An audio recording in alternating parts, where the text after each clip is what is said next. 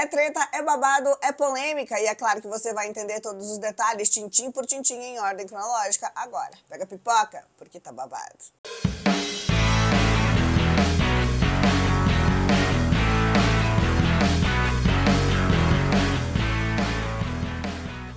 Oi pessoal, tudo bem? Meu nome é Ju Nogueira e esse é o canal Já Contei. Cheguei chegando com mais um vídeo recheado de muita informação. Tudo que tá rolando nas redes sociais você vai ficar sabendo agora, tintim por tintim em ordem cronológica. Quem disse o quê, por que disse, de onde essa história veio, para onde ela vai, os desfechos, os desdobramentos e muito mais. Então cola aqui, já deixa seu like porque ele é super importante, faça da diferença, ajuda demais. E já me conta também o que você tá achando dessa história, porque olha só essa gafe que aconteceu, tá? Por quê?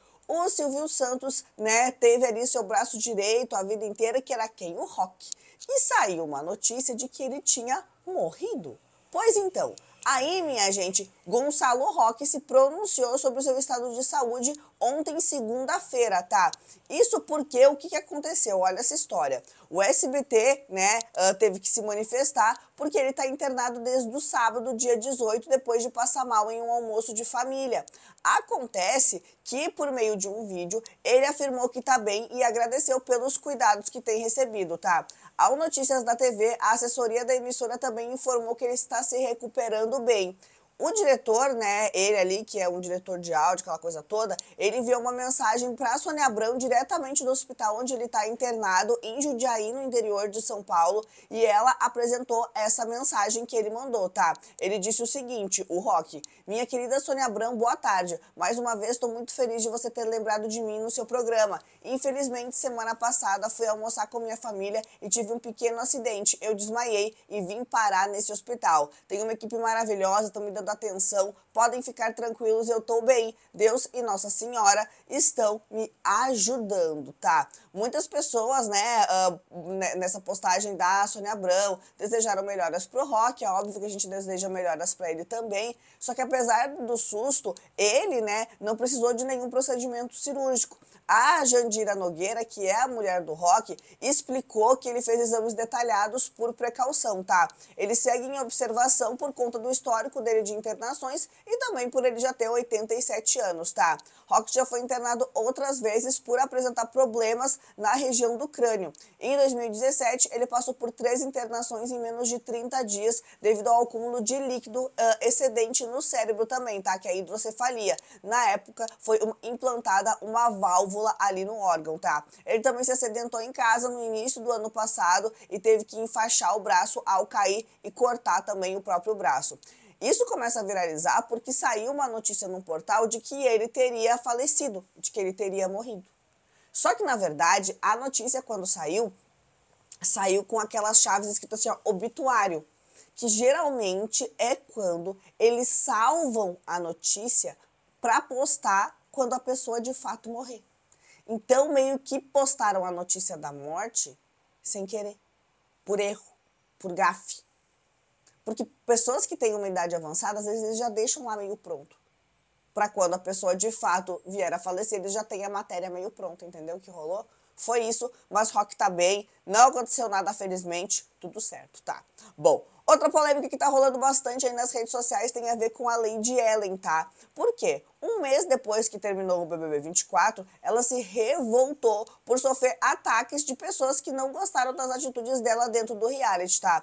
Ela foi xingada e ameaçada nos comentários de uma publicação do Globoplay, uh, em que ela apareceu com a Pitel, que estava lá no confinamento junto com ela, tá?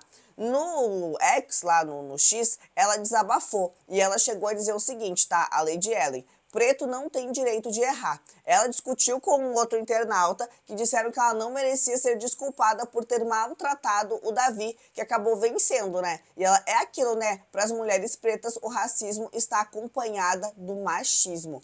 A publicação feita no Instagram do Globoplay acumulou comentários negativos sobre ela e a Pitel no show do Péricles, né? Se elas foram chamadas de, de queimadas, de invejosas, de arrogantes e várias outras coisas, tá? Aí 我们呃。Ela ainda perguntou nos stories, né? A própria Lady Ellen. Ela ainda disse assim: ó, estou acompanhando de perto várias coisas que a gente passa. Toda vez que eu posto foto com ela, o direct enche de mensagens, comentários maldosos. E eu fico me perguntando até quando isso vai acontecer. Parece que as pessoas não querem que ela apenas reconheça seu erro, querem que ela se humilhe. Sabemos muito bem o que é isso, né? A história da Lady não pode ser resumida a um erro. Ela tem muito mais coisas para mostrar. Até quando vão ficar desrespeitando ela, o que esperam disso? Né? Ela ainda disse assim. Babado, né? Bom, em entrevista ao Notícias da TV, a Lady admitiu ter se arrependido das atitudes que ela teve no programa, né? Me exaltei em momentos que não precisava, mas a pressão psicológica era muita. Tudo é muito intenso, somos levados ao nosso limite e, infelizmente, acabamos nos comportando de forma que não faríamos aqui fora. O confinamento traz sentimentos muito loucos e nos esgotamos com uma rapidez absurda. Foi o que ela disse aí à Lady Ellen uh, diante de todos esses ataques, essas críticas que ela tem recebido. Um mês depois que o programa terminou, ainda estão xingando a menina. Ô, oh, povo, vida que segue. Bom, falando em vida que segue, tem um casal que toda semana vira notícia, né? A separação foi assim para entrar na mídia de uma vez por todas e a gente se pauta todo dia. É claro que eu tô falando do casal Tudão, que não é mais Tudão, que agora é Tudinho, é Nadinha, seria Nadinha. Por quê? Porque a Graciane, minha gente, ela sugeriu essa possível volta com o Belo, né, depois de toda essa separação polêmica dos dois, tá? O que aconteceu? No Instagram, ela apareceu em um vídeo numa, numa collab ali com o Tirulipa com a legenda Eu me despedindo da amiga depois de passar duas horas falando mal do ex, sabendo que já já ela vai voltar com ele. Nos comentários as pessoas não perderão tempo, né? Tudão vai voltar, eu sei. Deixa começar a chuva, aquele frizinho em um belo dia, brincou uma pessoa. Outra disse assim, ó, tô achando que o Belo pediu uma forcinha pro Tiru, que no caso o Tirulipa, né? A outra pessoa ainda falou, o Brasil tá esperando por isso, tá? Ela reagiu a alguns comentários ali com emojis de risadas e tal, e também uh, um, é, um desses comentários citava a música Intriga da Oposição, que é uma das músicas mais famosas do Belo, né? Então ela respondeu um desses internautas ainda. Vocês acham que Tudão vai voltar? Aliás, a gente tem dúvida que Tudão vai voltar. Enfim.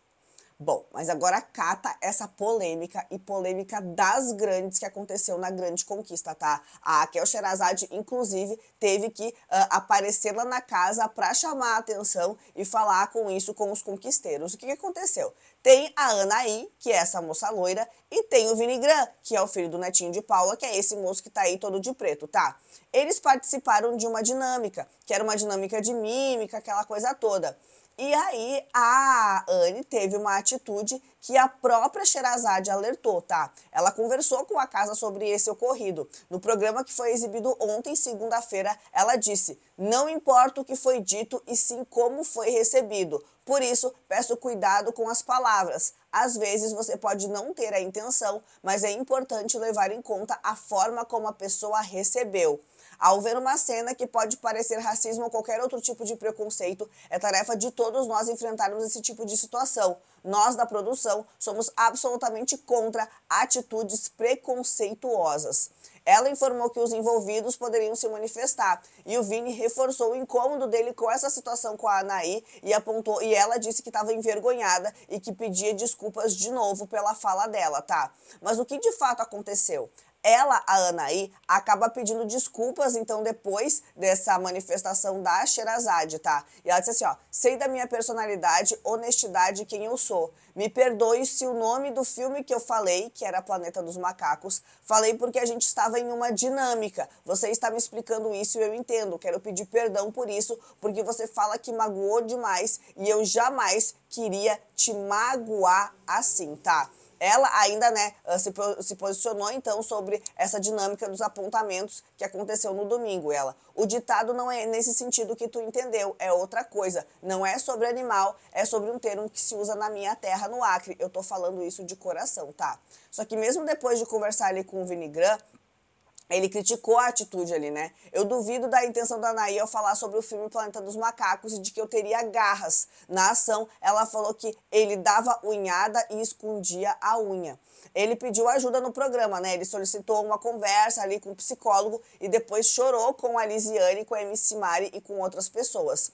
Na segunda-feira ontem, a Anaí procura ele e tentou conversar de novo, tá? E o Vini confessou que não queria mais falar sobre o assunto. Tanto as equipes da Anne quanto do Minigram se posicionaram no X, né, lá no Twitter, para falar. A equipe dela disse o seguinte: Diante dos últimos acontecimentos, estamos aqui para esclarecer alguns pontos. Uh, isso tudo eles falaram lá no Twitter, tá? Na dinâmica que ocorreu ontem, quando a Naí apontou Vinigran no jogo da discórdia, ela usou um termo bastante falado em sua terra: dar uma unhada e esconder a unha. Desde então, Vini vem distorcendo a fala dela pela mansão e para diversas pessoas, dando a entender que a Anne teve uma fala racista.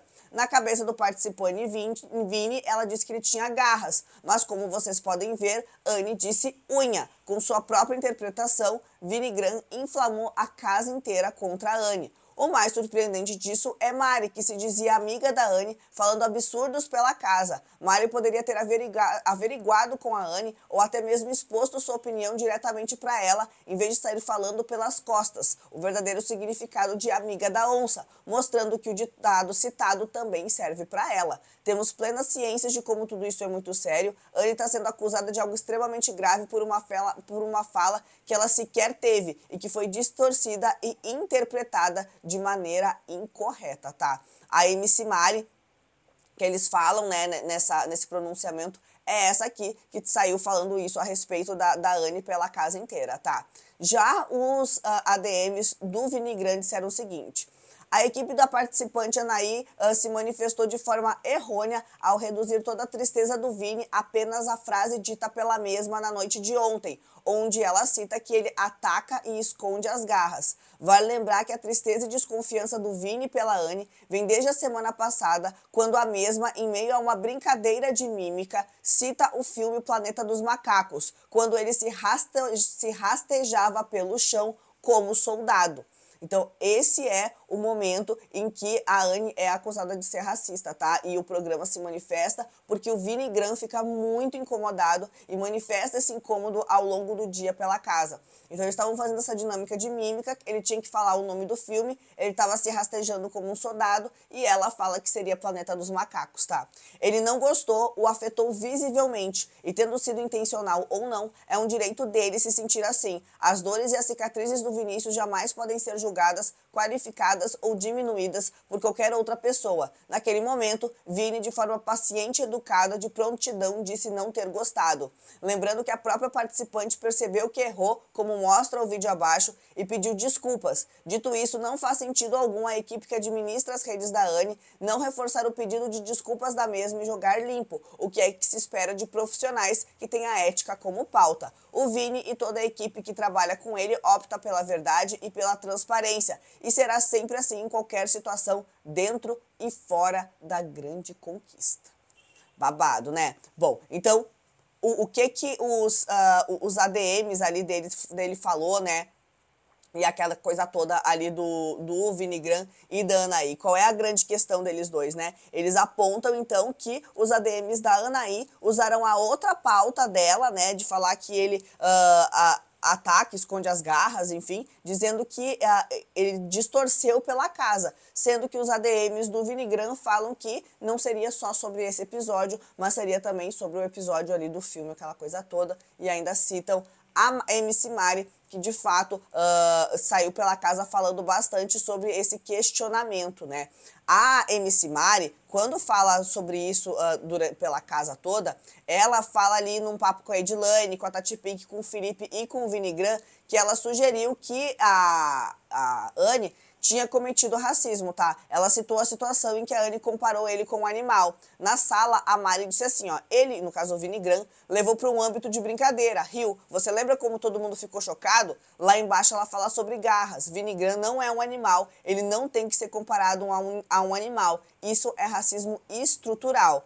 A equipe da Anaí, como eu te falei, se pronunciou e criticou essa atitude do MC Mari.